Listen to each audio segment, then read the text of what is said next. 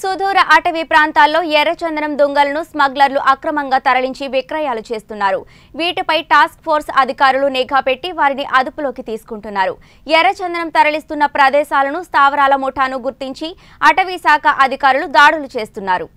చిత్తూరు జిల్లా తిరుపతి సమీపంలోని తలకోన శేషాచల అడవులలో ఎర్రచందనం స్మగ్లర్లు విరుచుకుపడ్డారు. టాస్క్ ఫోర్స్ చేపట్టిన కూంబింగ్లో అక్రమంగా తరలిస్తున్న ఇరవై ఎర్రచందనం దొంగలను పోలీసులు స్వాధీనం చేసుకున్నారు.